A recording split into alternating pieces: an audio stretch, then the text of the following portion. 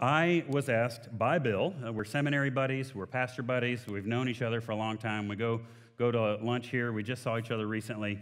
Good buddy, uh, Bill is, and he asked me to preach. And one of my Achilles' heels is when uh, somebody says, Yeah, preach. I don't care on what, show up, whatever the Lord leads.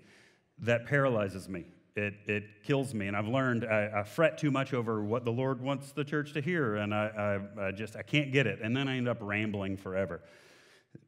All that to say, when Bill asked me, I said, one condition is that you give me a passage and you confine it, restrict it, and tell me what it is, and then I'll show up. And he goes, done. You're introducing the book of Judges with the story of Ehud, which is not quite what I was looking for. Um, I have the privilege of telling you a story full of potty humor about an assassination and somehow trying to make that worshipful.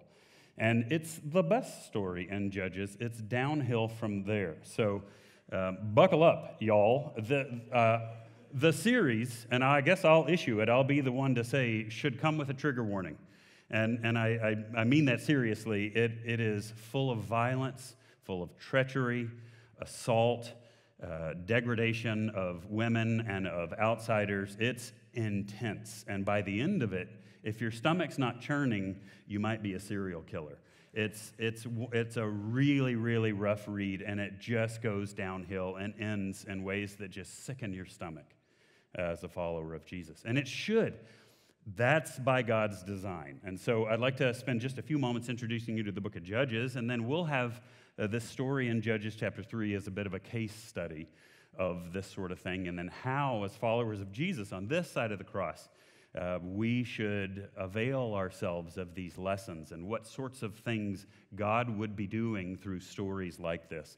And you'll continue, I hope, to apply these lessons and these skills in the rest of the series. So uh, I, sh- I should also say, I'm the last guy who should be doing something like this because I'm I need a trigger warning. Everyone I've ever worked for and with tells me I, I have a clinical lack of discretion. And uh, I say things, most people have like a hard door between the brain and the mouth hole. Mine's like a fence, chain link fence. It just, stuff comes out. And then I go, oh, I guess we're running with it now because I said it. So I am, I've been praying this week that I could be proper and discreet and appropriate as we dig into some really tough things. But it's hard, y'all, because there's potty humor in this, literal potty humor. So I'm going to try and be mature as we uh, work our way into this book. Let me say something about Judges here. So, Judges, Genesis, Exodus, Leviticus, Joshua, Judges, Ruth, 1st and 2nd Samuel, 1st and 2nd Kings. So, this is a, uh, an early part of our Old Testament.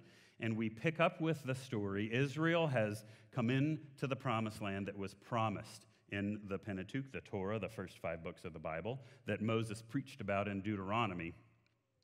And the first generation was kind of faithful to deal with the foreign influences and the peoples that were in the land.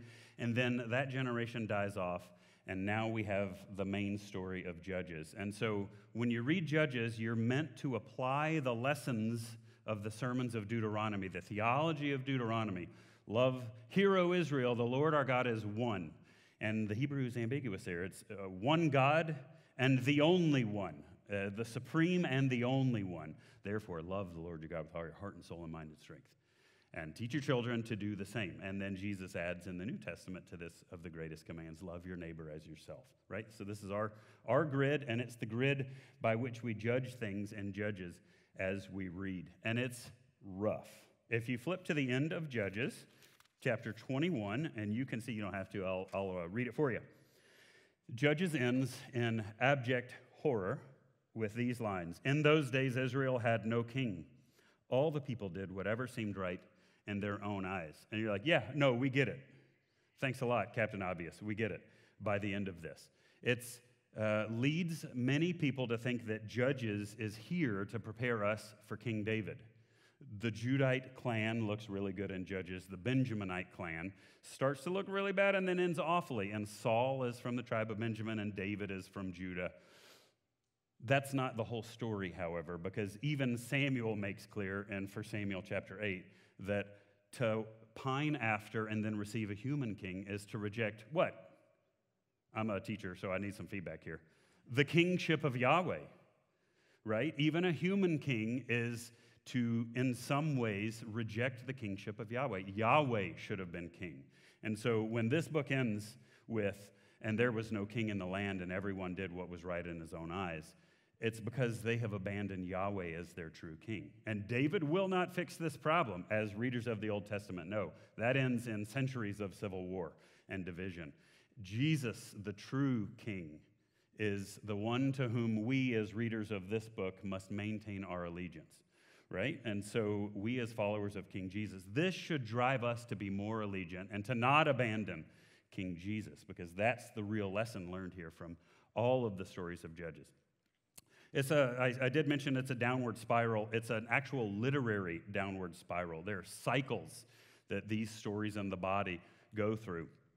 And there are upwards of, you know, well, lots of elements, but we can kind of break them down into five elements. And each story in Judges that you'll read in this sermon series either adheres to or an expectation of this cycle subverts things.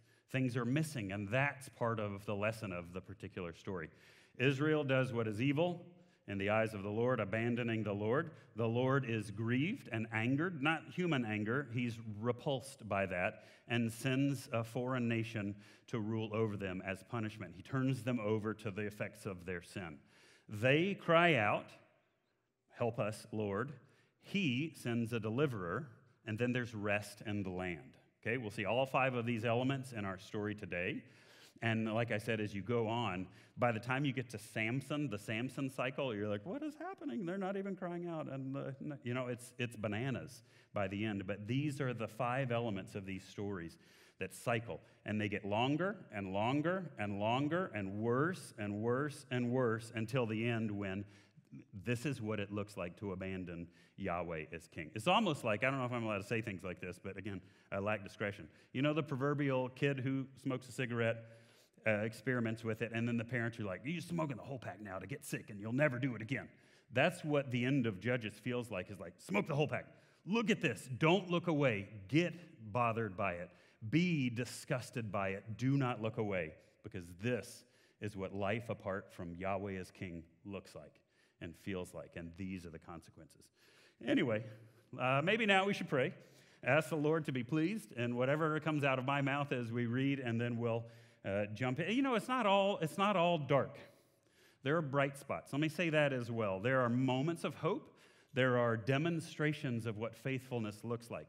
The bad guy in our story is from Moab, a kingdom in the Transjordan across the Dead Sea from uh, the, the nation of Israel. The book after this uh, is Ruth. Where's Ruth from? She's from Moab. So there are bright spots in the days of the judges where people, even former enemies, can be faithful and can respond rightly. And we have stories of those that are just in sharp relief from the typical. So, uh, so buckle up. Let's pray. Heavenly Father, please be with us as we engage with these tricky passages of Scripture. Be pleased. May your name be made great. May your kingdom come and your will be done on earth as it is in heaven. We thank you for your word. We pray for the courage to engage with it rightly and the humility to do what we find out you want from us. We, your humble servants, in the name of Jesus, the King in heaven. Amen. Okay, so let's pick up in uh, Ez- Ezra. There's a, that's not correct. Judges 3, uh, verse 12. And we'll begin. This is actually the second judge Othniel has come before, and we're meant to absorb Othniel, working out just the way it should. All the things are firing. Othniel is held up in high esteem, and here we have Ehud. Once again, the Israelites did evil in the Lord's sight. That is number one. And the Lord gave King Eglon of Moab control over Israel because of their evil. There's the second thing in the cycle. Everything matters. Little details matter in, in Hebrew narrative well, in all stories, but especially in Hebrew narrative, is real efficient and economical.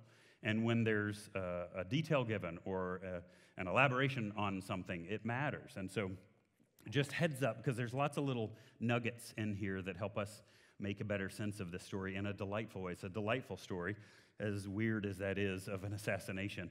Ehud uh, is, uh, well, sorry, Eglon is, is, a, is a name in Hebrew that, that means calf. We're told later, uh, calf like calves that are sacrificed in Israelite sacrificial system. Uh, and we're told later that he's, he's hefty, he's a hefty fella. And so just buckle up because this is a story about a fatted calf being offered to the Lord. And we'll have other sacrificial imagery along the way.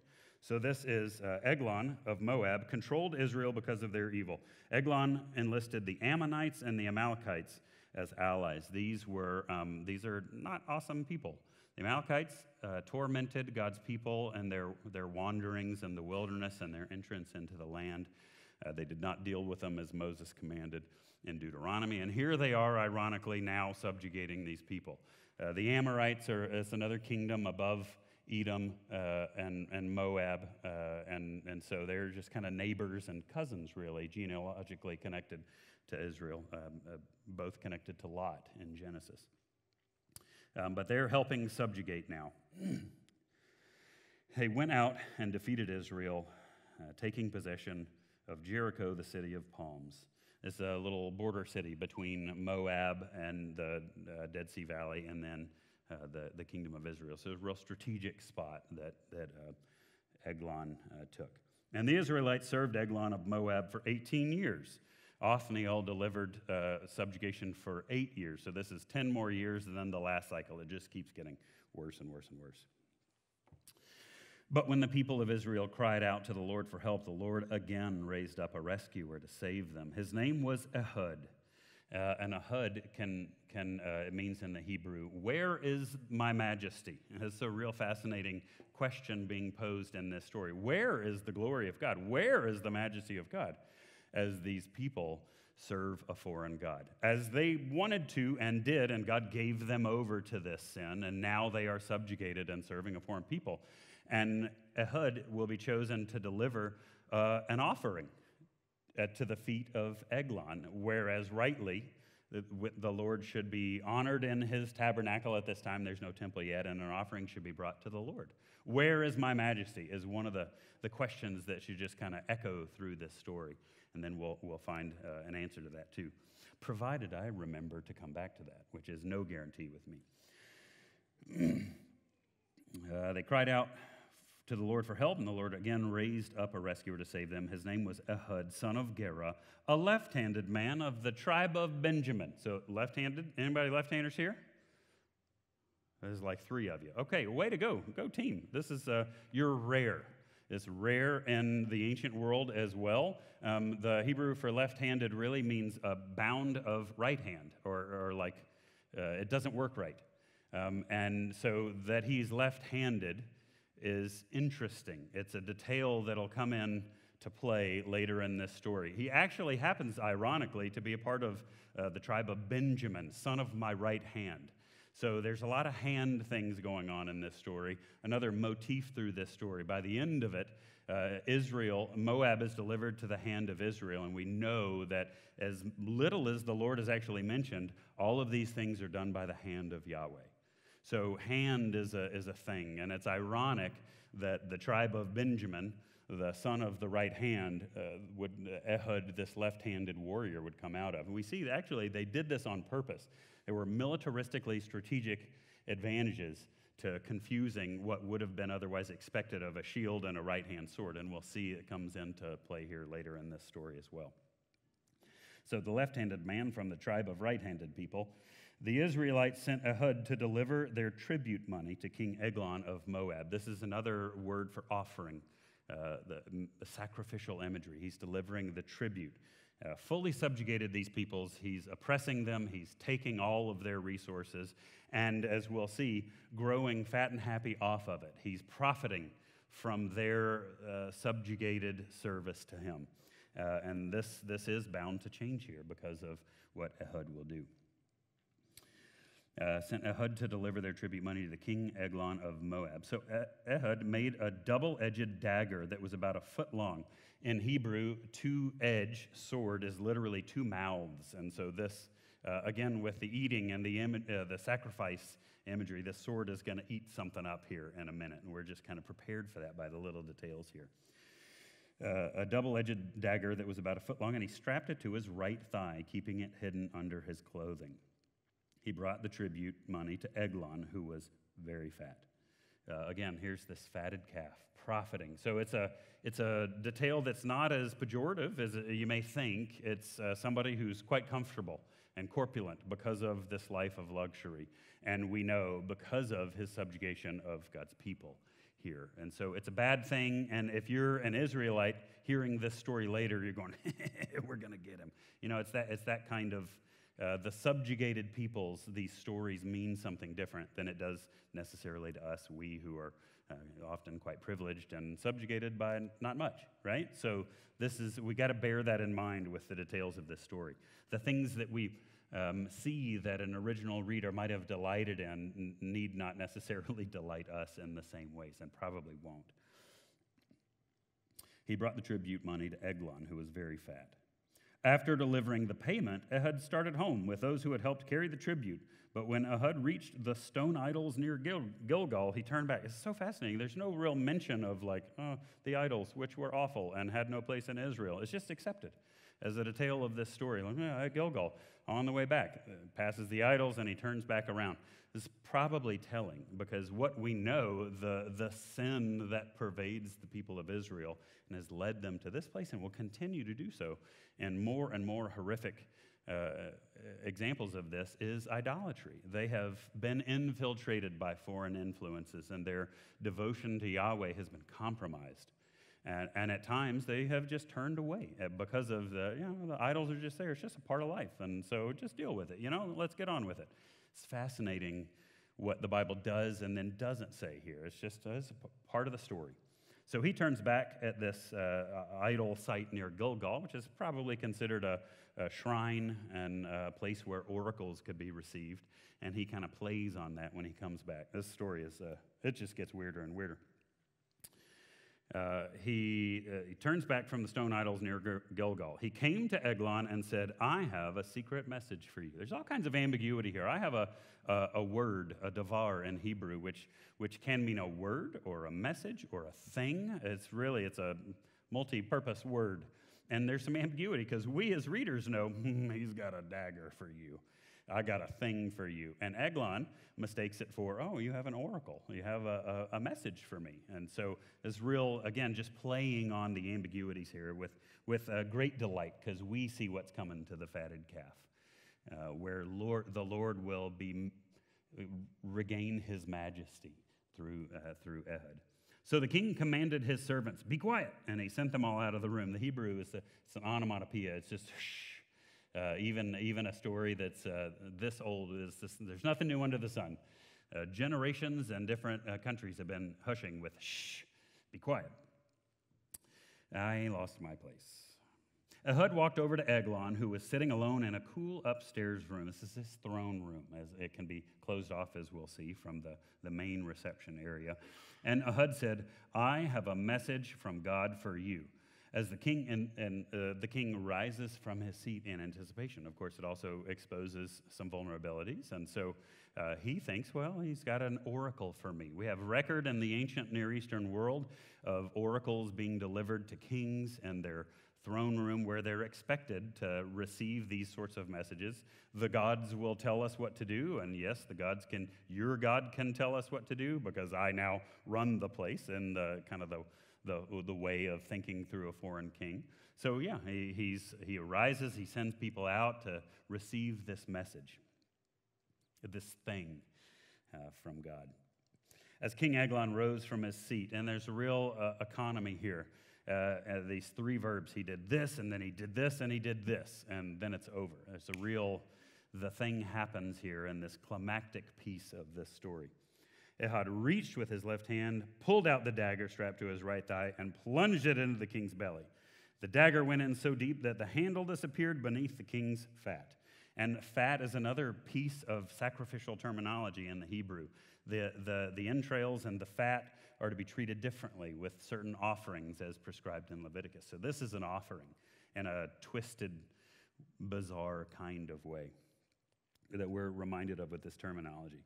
So Ehud did not pull out the dagger, and then it came out the back. The Hebrew is a little ambiguous here, and it We have a hunch in light of later details of the story that his bowels evacuated upon death. And we also have record in uh, war annals in the ancient Near Eastern world of people being able to say, yeah, that guy's dead because his bowels were empty.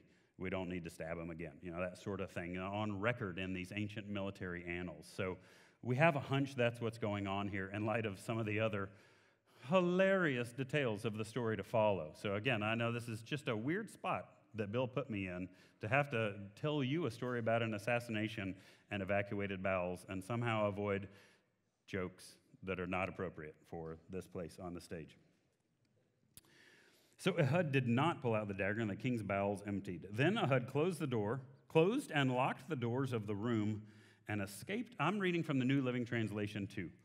Escaped down the latrine. So uh, this is like Shawshank Redemption escape here, uh, if you will. This is one possibility. Again, the Hebrew is a little ambiguous, but he got out undetected and was able to lock this door, which comes into play here.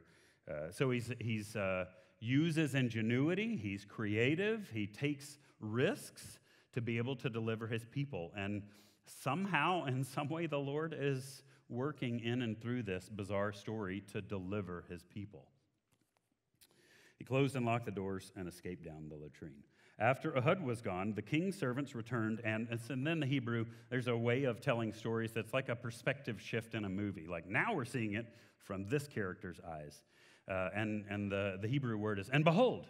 And so there's this series of, and look, and behold, they see this, and look, and behold this. And so now we're drawn in the story to see it from the attendant's eyes because of the way this, this story is told. After Ehud was gone, the king's servants returned, and behold, they found the doors to the upstairs room locked. And behold, they thought he might be using the latrine in the room because, you know, there was an odor. Don't go there. Don't say it. They thought he might be using the latrine. And so they waited, but when the king didn't come out after a long delay, and again, the Israelite audience is going, those stupid people. We totally took them. You know, it's, it's a, there's, there's a morbid delight uh, that, that the original audience would take in this because everybody looks bad from these peoples that have been abusively and coercively ruling over them for 18 years. and behold, they found their master dead on the floor. And the rest of this is just kind of mop up in the way the story is told. While the servants were waiting, Ehud escaped, passing the stone idols, there are the idols again, on his way back out from Gilgal. He arrived in the hill country of Ephraim. He sounded a call to arms. He led a band of Israelites down from the hills. Follow me, he said, for the Lord has given you victory over Moab, your enemy, has given Moab into your hands. Uh, and here is a mention of the Lord, and Eglon acknowledges this is the Lord's doing. He has given uh, victory into your hands, Moab, your enemy. So they followed him, and the Israelites took control of the shallow crossing of the Jordan River across from Moab, preventing anyone from crossing. His little ancient military strategy here in light of the geography uh, of the place. They attacked the Moabites and killed about 10,000 of their strongest and most able bodied warriors. Not one of them escaped. There's something uh, probably here going on with numbers and militaristic accounts. Um, the Hebrew word for thousand, 10,000, also means clan. So it could just be 10 little units uh, in a military, just as, as plausibly. And in light of what we know about the size of these peoples, and it's probably 10 units of there. But decimated is the idea here. Uh, their strongest and most able bodied warriors. Not one of them escaped. And so Moab was conquered by Israel that day, and there was peace in the land for 80 years, which is twice as long as Othniel's peace was 40 years. So, kind of two generations, if you will. And amen. What in the wide world of sports are we supposed to do with this, huh? So, um, I'll take a stab and see what we could do. There are always, when you read a story as the people of God, you are, you are asking, well, what's happening in this particular story? Who is God? What is a right or wrong response from either God's people or his enemies? What do I, as part of the people of God, need to make of it now, right? This is part of the exercise with each of these particular stories. I am going to, well, so this is a story about people crying out for deliverance, and God has mercy and delivers them in a bizarre fashion with Ehud, who's the Lord's servant. I think I'd like to go kind of move beyond just this story. You know, there are probably examples in your life that you could apply of what it looks like to uh, respond to God when you are uh, wandering and feeling the effects of your sin and crying out to God, and He hears. And uh, maybe if you want to take it from the perspective of Ehud, uh, God can use your creative and faith filled efforts to do good things, surprising things sometimes, on behalf of God and His people. Now, let's take a step back and let's look at this from the book of Judges since I'm introducing the book of Judges to you. Thanks, Bill, wherever you are. And I would like to uh, think through bigger picture. So this happens 80 years of peace. Some things are missing from this story, however. What's missing? The people are fine. Then they go back to doing the same things again in the next story, and then it all happens over again. And then they're fine, and then it happens all over again because it's like a dog returning to its vomit, as the Proverbs would say, right? It just keeps happening. What's missing is a genuine return to the Lord in light of all of this, which we have on record in the Old Testament. Josiah, when he discovers the Torah of God, uh, king described in 2 Kings, leads a religious return, uh, the hearts of God, uh, the hearts of people to, to the Lord, right? This is it's, it's a glaring omission in light, of, in light of this. And it has to do with the lessons that we talked about at the beginning. This is what it looks like when people abandon the Lord as king. And these are some of the things that can cause you as a people to abandon the Lord as king. So this is real dumb text kind of lessons here for us to learn. So just a few guidelines, grid really for the rest of your uh, your series. I've written all of these out. I've got uh, detailed sermon notes with some applicational thoughts and a little introduction to Judges that I've uploaded as PDFs to a Google Drive folder. I'll send it to Cody, send the link, and you can just get that from him if you want more. There's a lot more because I'm a Bible professor and I really enjoy the preparation process. So, but you, it's there if you have it. So let's just say a few things here. Um, uh, the things that happen in Judges, the violence, the treachery, because you read it, it doesn't mean it's being condoned, okay? So this is not a celebration of these things. It's quite the opposite. So don't get don't approach these stories and go, "Well, my Bible says it, and so I can do it." You know, like don't go assassinate someone because of this story. That's not the right thing to do, okay? So just just understand that that when it shows up in the Bible and awful things are going to show up in these pages, it's not an endorsement. So you don't need to be troubled by it, and you can respond to folks who are like, ew, the Bible, we can't read this anymore. It's, again, you're, you're being forced to look at these awful things, not look away, so that you don't abandon the Lord as king, okay? So um, I, I think that, that bears repeating. God also uses people who are deeply flawed. That's good news for all of us deeply flawed people, but it's also not an endorsement of the people and the things that they do. Gideon's fleece, for example, that's a bad thing. That is divination in the ancient world. And God still mercifully condescends and meets him there, but it is not an endorsement. You do not try and manipulate God for your answers and for your guidance. Okay, so just again, these are deeply flawed people who happen to be mercifully used by God to accomplish his purposes. But it's not an endorsement. Don't go doing what Samson does, right? These are, this is a, this is a tricky thing here. Um, there are repeated opportunities to return to the Lord and to respond rightly to the Lord. And we must ask, as followers of Jesus, as people of God in the New Testament era, has God perhaps given you a chance to return mercifully? Take advantage of it. Return wholeheartedly, the right way, not like these chuckleheads, right? So, this is another one of these kinds of lessons that you're just going to be confronted with over and over and over. Should also say, God delivers his people from his enemies, from their enemies. And we, as followers of Jesus, filtering through the grid of the ethic that Jesus imparts, have a whole different ball game that we're playing. The one who tells us that not just uh, murder is bad on the Sermon on the Mount, but anger itself, who not just says, hey, um, forgive your enemies, but pray for them too. This is the, it's a, the face of God revealed more fully and, and, and most fully and completely in the person of Jesus. instructs us, gives us a grid to read these stories as well. And so, read the Sermon on the Mount. It's like mouthwash. Read the Sermon on the Mount five times a week before you come to church and read Judges, because that's your cleansing, your palate cleanser, your guide for this is the, is the person and work of Jesus.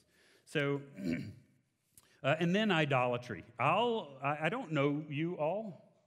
Uh, I work with a company that has people from all over, and so I've gotten out of the habit of saying y'all, but I'm in Texas, I'm from Texas. So, y'all. I don't know y'all. The pastoral staff, the elders, uh, you know each other, your small group leaders. I'll let you deal with this. I'll just launch it out in there and see what happens. Idolatry. There is no more pernicious and pervasive ill that plagues the people of God in our country than idolatry in many forms. So don't think because you don't worship little statues anymore that you're not being poisoned by idols and their idolatrous effects. It's for you to work out in your context. I don't know you, and I don't want to come across as callous and unloving. Uh, uh, um, in a loving way, I would like to suggest that you must deal with idolatry and its pernicious and pervasive effects as you engage with this sermon series and learn the lessons that Israel should, the people of Old Testament, the people of old, God's people of old should have, should have learned as well. So we're done. I'm going to wrap it up right now. And uh, we'll say, in light of all of that, uh, this. The big idea from this and from this series, the thing that this should push us towards as followers of Jesus, Jesus, the King, Messiah, King on the throne who rules, has inaugurated the new creation. And we are little bits of this, of God's future and the present, new creation. Behold, if anyone is in Christ, Paul says, new creation. We represent God's future and live under the rule of God. Uh, and it's a privilege, it's a blessing, it's a gift. It comes at great cost, however. Uh, this is our task. And so, for us to read a story from the Old Testament about these poor idiots who abandoned the sovereign rulership of Yahweh and exchanged it for any other thing but Yahweh. They're almost eager to abandon Yahweh for all these other things. We read this through the grid of Jesus is now on the throne. And so our elite, so here, serve, this is, this is kind of the book summed up as New Testament believers. Serve King Jesus with wholehearted and with exclusive allegiance. Allegiance is probably a better representation of the, the, the idea of faith in the New Testament. Uh, serve King Jesus with wholehearted and exclusive allegiance and watch him do wonderful things in and through you all here. If you set apart Christ as Lord, it's going to confuse people. It's not hard to confuse people these days because uh, being forgiving and generous and gracious and welcoming is rather shocking, even for God's people. So uh, serve Jesus with wholehearted and exclusive allegiance and watch him do wonderful, incredible things in your midst. Uh, I will say, it seems like he is doing wonderful and incredible things in your midst. Um, uh, I see more and more signs of life here. We were in a whole other thing last time I was here, and uh, more faces, more, more disciple makers to mobilize and deploy here in this area of the Metroplex. I'm really encouraged. I hope that you will somehow maintain encouragement and joy as you work your way through this book. Good luck to whoever's taking it from here.